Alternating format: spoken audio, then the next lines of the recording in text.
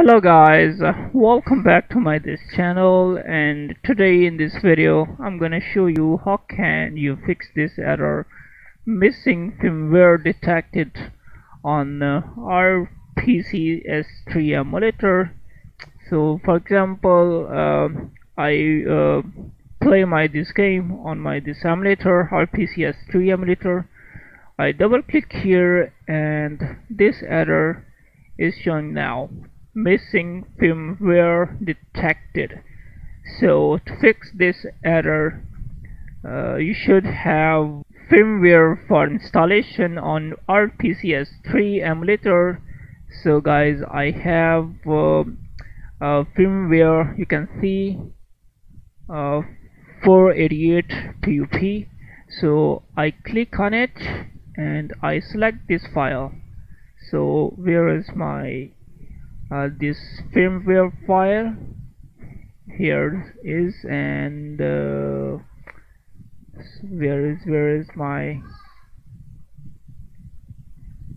yes yep here is. And so click here and click on all PUP file. And yep here is. Open it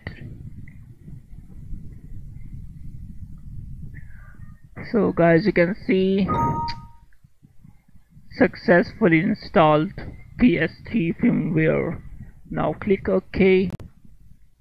And you will have to wait for some time for installation firmware on RPCS3 editor